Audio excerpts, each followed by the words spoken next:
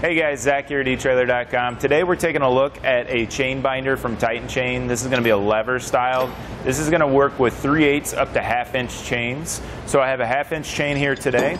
So let's get this put in place. I've been testing out a lot of different chains and binders with this mini excavator here today. And when it comes to the binders, there's a few different styles. You know, like the ratcheting binders. There's one that almost acts like a ratchet strap style from Convert-A-Ball called the Tugger. Those are all really nice ways to go. And then there's this style. And this is where I don't really like this style. I can't get it tightened down right here. So what I need to do is come down another link and then get that tightened down. Now you can see I just went one link and how loose it was. I couldn't get it to that other style. And show that again. I am putting everything I have into this. Now I'm not the biggest guy, but I feel pretty confident that I could get stuff tightened down properly and I cannot get this one in place. So this is just not ideal for me. Obviously you could see right in between those two spots, I couldn't get it. So that's when grabbing a pipe. Now this is the only thing we have. You might be able to get away with something shorter. But what I'm going to do is, this was that link where I can't, can't quite get it there. So what I'm going to do is put that pipe on there to give us a little bit more leverage.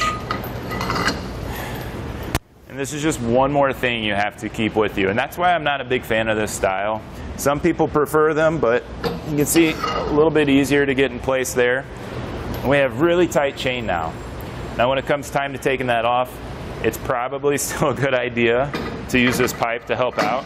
It just, there's a decent amount of tension there. You can see how it wanted to jerk away from me there or towards me. I just don't think that this is the safest way of going about it. But if you're comfortable with it, by all means, it's still going to do an effective job of keeping your chains in place.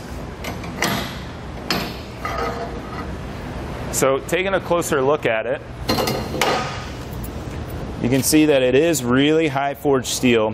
Now this has a working load limit of 9,200 pounds. That is below my chains capacity, which is 11,300 pounds. So we need to go off that 9,200 pounds. Now, pairing this up with more chains on this mini excavator and we're going to be just fine, but that is something to keep in mind. Go with whichever is the lowest between your binder and your chain. Now when it comes to choosing the right size chain, it all depends on your load and what you haul most often. So here's three common ones that we see a lot. I have a 5 16 a 3 8 and a half inch. And they come in all varieties of lengths. Usually the half inch, those are going to be in the more the 20 foot and up, where the 3 8 and 5 16 those can be down to like 10 and 16 foot.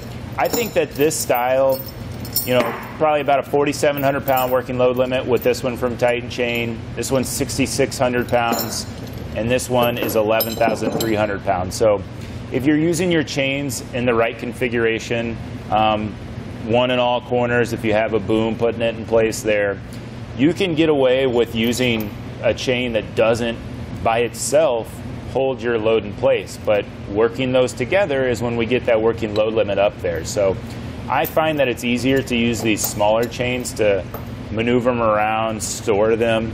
I kind of prefer this style, something right in the middle. This 3 8 is really nice because it can fit down in my stake pocket just fine.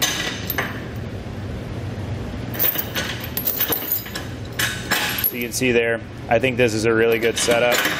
But this one's not as difficult to maneuver around as this heavier one, but if you have the need to get up there with those heavier loads, this is a really good way to go. Now, this Mini came in today with quarter inch chains. Now, if they use the proper amount of these to hold it in place to those working load limits, then you're definitely going to be okay. But something you want to start checking out before you head out on your load is making sure you don't have any damaged links. So the chains that came in today didn't have any issues. Um, but that is definitely something we've seen before where these links start bending and stuff just starts wearing out. You know, after a while, with these are holding those loads down and they're rubbing up against one another, you can start seeing some signs of wear, and it's just not a safe way to go. the minimum reach on the hooks is 21 inches, so we got to keep that in mind whenever it comes to when we're hauling our loads. You can see here we've plenty of space here to make this work. And the handle is 14 inches long, so that gives us a good amount of leverage, but as you can see, I needed a little bit more. I needed to grab that pipe. You could get away with a shorter one, but you're probably going to need a little assistance to get this on and off. And I think that's where this one for me, it's just it's just not worth it. I like the ratcheting style better. It takes a little bit more time to put those in place, um, but they're safer. You know, it's easier to get them in place. This just takes a lot of effort. Now I got to carry an extra pipe around with me to get these on and off, and it's just not ideal. But overall, it still does a good job. It's just not as easy to use in my opinion. But that's going to do it for our look at the Titan Chain lever style chain binder.